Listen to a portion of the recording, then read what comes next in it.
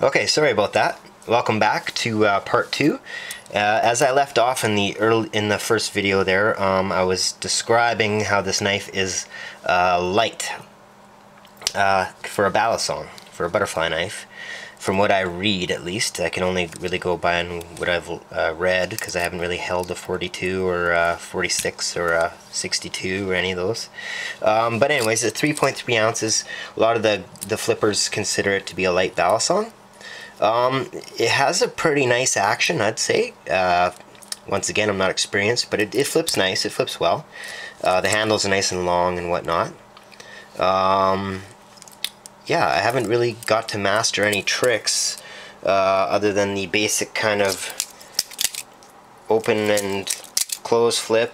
Um, I know uh, I can spin it uh, on my finger 360 sometimes, and uh, uh, I haven't really learned a whole slew of tricks, but um, uh, haven't got good that way. But um, yeah, so anyways, it's it's a nice flipper um, for for what it is here. Uh, someone else might want to write up, and I know that uh, I, I, should give a shout out to um, to um, you know, I forget I forget his name. Oh, Calvin Nation. Um, he's he's got actual video review, and that might be redundant here in that uh, Calvin Nation actually owns multiple uh, butterfly knives, and thus his opinion would be um, probably more relevant.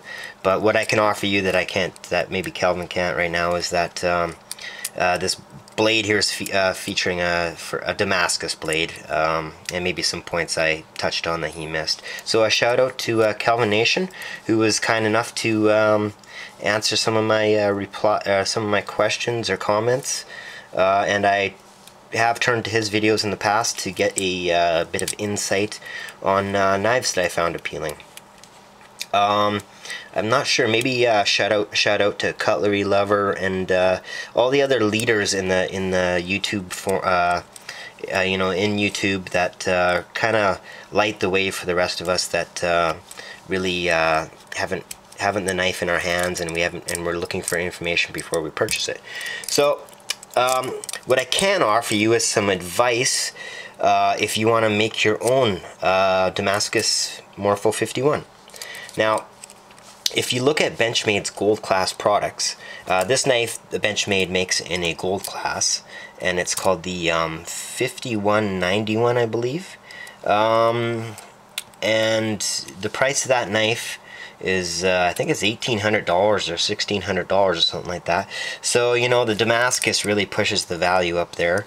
Uh, I got to omit the uh, handle materials carbon fiber and there's uh, I think there's mother of pearl, black lip mother and pearl inlays and stuff like that. But uh, you know, uh, that's that's a that's a huge price tag. Uh, for any of you that want to um, maybe start making your own blades, for instance, just to uh, not to sidetrack here, but here's another blade I, I made, and this is a friction folder made out of uh, another piece of Damasteel that I had from the same chunk. So what we have here is a, a friction folder. Um, I really wish I can show you the patterns a little bit better. I can't seem to pull it off with the uh, light that I have. Um, you know what? Maybe I can do a third video showing uh, macro uh, macro detail for for those of you that would uh, be patient enough and bear with me. But anyways, going back to the thing is if uh, and this is red G10 uh, brass pins a piece of uh, buffalo horn for a backspacer, or whatnot, and a friction folder. So anyways, moving right along, if you're interested in making your own Damascus blade, it, the stuff is beautiful. Uh, it's high technology. It's like a, a CPM S30V in that it's a particle metal, so expect uh, good, good, uh, good performance. Um, you know, there's an exclusivity with it it's expensive steel. It's something like, I don't know what the exact price is, somewhere like 16 to $20 a square inch. And, you know, uh, that's, you know, it's up there. It's really expensive. I mean, you know, who knows? To get a little chunk of Damasteel is expensive. Anyways, if you want, uh, keep in mind that you could do your own stock removal uh, blade creating, and you can use you can use you know pretty simple uh, items or get help from some friends. Uh, just research stock removal knife making and uh, learn how to uh, uh, cut, design, grind, and uh, heat treat and temper and finish your own blades. Um, for anybody that might want to start out, I would suggest using a file. Um, get a little simple belt sander from Canadian Tire or something like that, or you can use files. Um, but uh, anyways, so you know, get yourself try, try looking into it, and you can get yourself a chunk of metal and modify a, a favorite knife that you already own. For instance, uh, say you had a Spyderco Dragonfly. It wouldn't take much Damasteel um, to, uh, it wouldn't take a big size of piece of Damasteel or whatever your favorite steel is, uh, S30V or uh, S90V or whatever you're into, to uh, make your own custom uh, you know Damascus spider Spyderco, which would make the make the knife unique and put its value. You know, it might be one of a kind in the whole world because no one else thought of making a uh, you know a Vinland pattern Damasteel Dragonfly.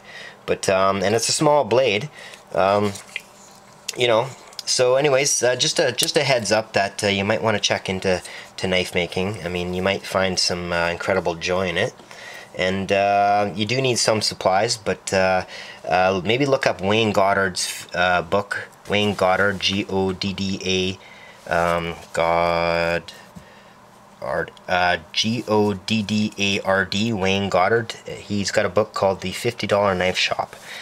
So anyways you can uh, heat treat and heat up stuff with the uh, homemade forges. For instance, you can get a fire hot enough with a hair dryer and uh, a hubcap full of uh, you know charcoal and stuff like that. Uh, to uh, you can get it hot enough to heat treat uh, you know 1095 and 5160 and 1084 steels and stuff like that.